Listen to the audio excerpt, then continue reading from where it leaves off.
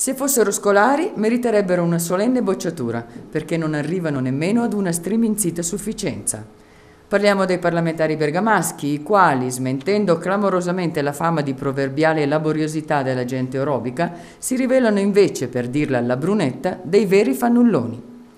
L'unica eccezione è Antonio Di Pietro, L'unico appunto è raggiungere la sufficienza. Lo dicono i risultati di una recente ricerca che ha misurato la quantità dell'attività dei parlamentari da un anno a questa parte, contando le ore effettive della loro presenza ai lavori parlamentari. E seppure è vero che la quantità è cosa diversa dalla qualità, viene comunque il dubbio di come si possa lavorare bene se al lavoro non ci si va mai o quasi mai. Per entrare nel concreto, la ricerca ha registrato quante volte ogni parlamentare è stato primo firmatario di un atto legislativo, quante volte relatore di un progetto di legge, quante volte ha fatto un intervento in aula e quante volte è stato presente alle votazioni. Premesso che i brutti voti meritati riguardano sia i politici di destra che quelli di sinistra, su una scala da 0 a 10 troviamo in prima posizione, come già detto, Antonio Di Pietro, con un indice di attività di 6,44.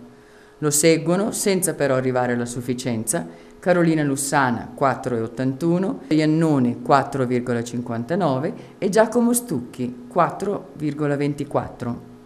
Ancora più basso il voto dei seriani Sergio Piffari e Nunziante Consiglio, rispettivamente Italia dei Valori e Lega Nord, 3,32 e 1,98, nonché quello dell'ex sindacalista Savino Pezzotta dell'UDC, 1,74 e del neoeletto presidente della provincia Ettore Pirovano, Lega Nord, che si piazza in terzultima posizione con un indice di 1,24. Nelle intenzioni di chi ha stilato questo rapporto c'è evidentemente il tentativo da parte della società civile italiana, cioè di tutti noi, di cominciare a controllare la nostra classe politica.